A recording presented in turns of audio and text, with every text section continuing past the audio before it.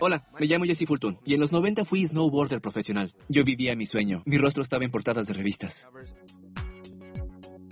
Tenía papeles en videos de snowboard y patrocinadores que me pagaban todo. ¿Qué le pasó a mi sueño? ¿Disfruté de una carrera larga y exitosa? No, no fue así. Jesse está fallando.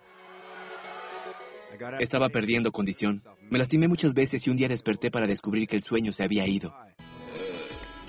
Así que tuve que volver al este, a un pequeño concurso regional, en una horrenda rampa, ayudando a mi amigo Chris Acosta a entrenar, y de la nada apareció este chico Zach Stone. Eso cambió todo cuando lo descubrí.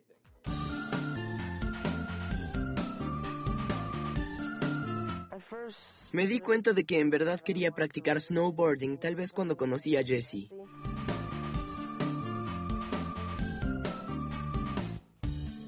El papá de Zach me ofreció 50 dólares para que llevara a su hijo a practicar y ahí empezó todo. Yo lo admiraba porque era todo un profesional. Ahora ya tiene dinero, patrocinadores que lo apoyan y está avanzando. Y ahora en Slopestyle, Zach Stone.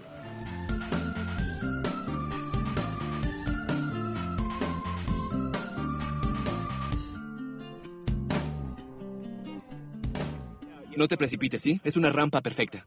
Está bien. ¿Sí? Anda.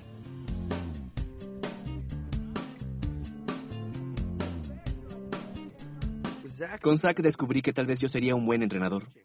Con una nueva vocación en un deporte que amo y decidí intentar conseguir más alumnos. El amigo de Zach, Harrison Gray, se unió al grupo.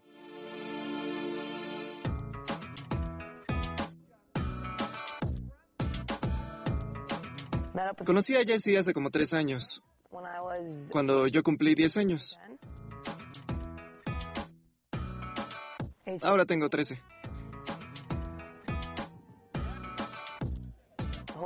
Espero algún día ser profesional y no tener que preocuparme por el dinero, y así poder asegurar mi futuro.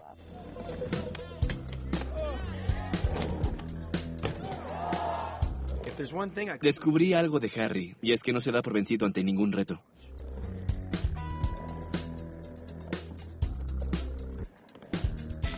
El siguiente en unirse fue Jake, un chico tímido con un gran potencial.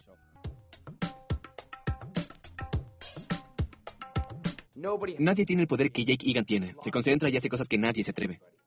Jesse ha sido muy buen entrenador. De verdad te motiva.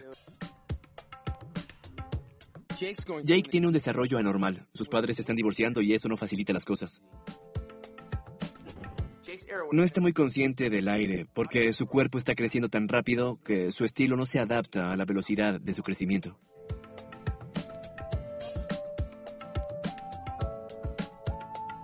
Y al final llegó Scott, un chico campesino que es un atleta natural.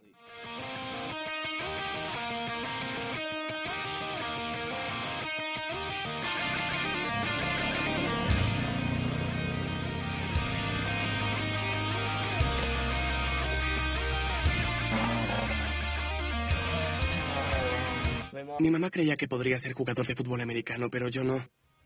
Porque mi corazón no estaba ahí, sino en el snowboarding. Lo construí en el primer semestre del año pasado. En el taller de herrería. Son. son seis metros. Scott no se detiene. Es un especialista de verdad. En el riel es invencible. Ganó las finales del Volcom, igual que los campeones mundiales. Esto es el campeonato en Mammoth del PBRJ. A sus 14 años tiene varias compañías para que les promocione sus productos.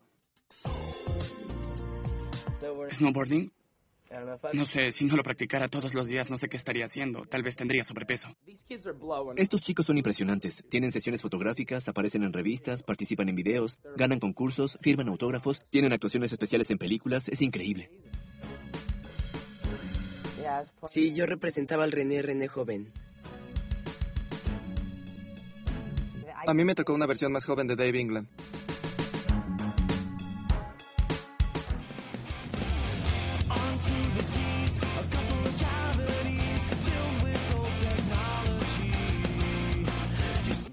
La tabla se rompió a medio camino y me tuve que sentar.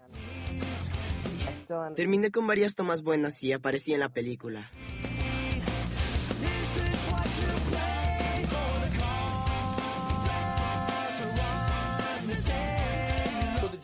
Y así comienza el viaje. Tengo este equipo que se llama Shred Education. Voy a llevar a estos chicos hasta la cima sin que cometan los mismos errores que yo. Colóquense bien el casco para un viaje loco por una temporada épica y ver cómo estos chicos salen a conquistar el mundo.